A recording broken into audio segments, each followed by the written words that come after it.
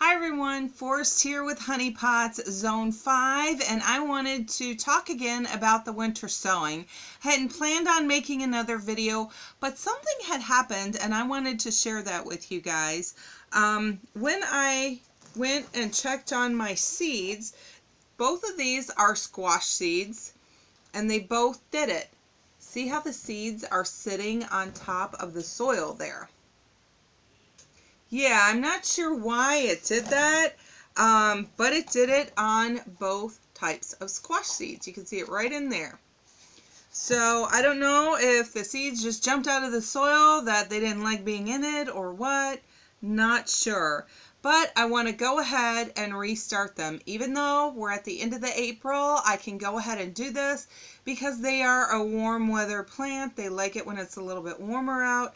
And I also want to have some time to get them going. So what I'm going to do here is I'm going to get my um, seed starting mix here. It's a little bit rough looking, but we'll take care of that. And get, I'm going to go ahead and put these back in here because the soil is fine. All we need to do is have a nice loose soil to get the seeds started in. It's not about um, any nutrition in the soil. Right now, we just need to get the seeds started. The seeds will have everything it needs in it until the first two real leaves on the seeds on the plant. And by that time, um, I'll be ready to plant them out in their beds in the vegetable garden.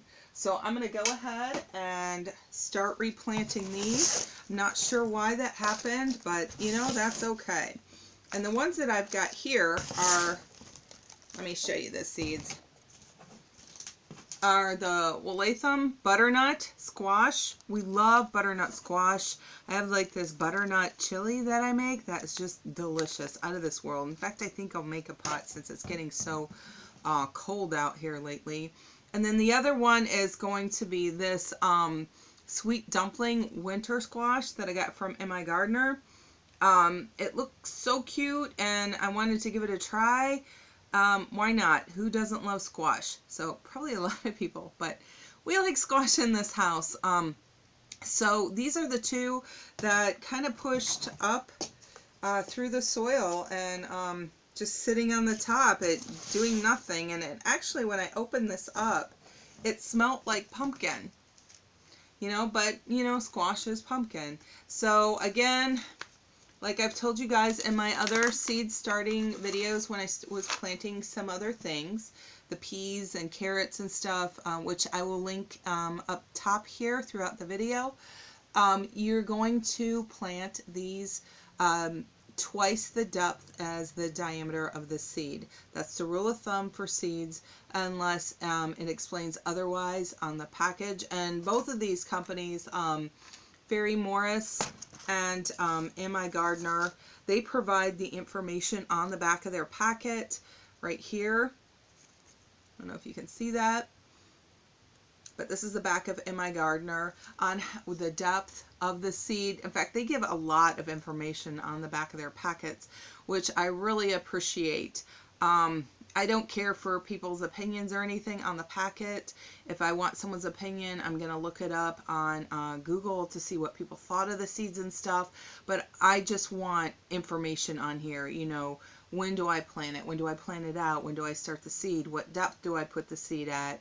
You know, you're going to want that type of information on it. Days to germination.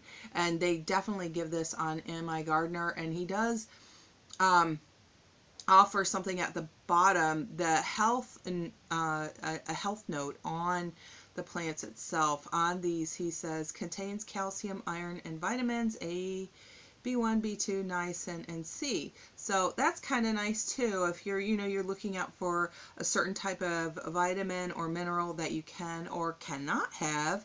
Um, and that's my case, things that I cannot have. So um, I really appreciate that he does that. And of course he's local here, so I like to support him. Um, anyways, so I'm going to go ahead and replant these seeds in here. And these I'm going to plant twice as deep as these seeds are round. And let's see what he recommends in here. Plant depth, one inch. Yep, that makes sense. So he's doing the twice the diameter as well, or the length in this case of these seeds.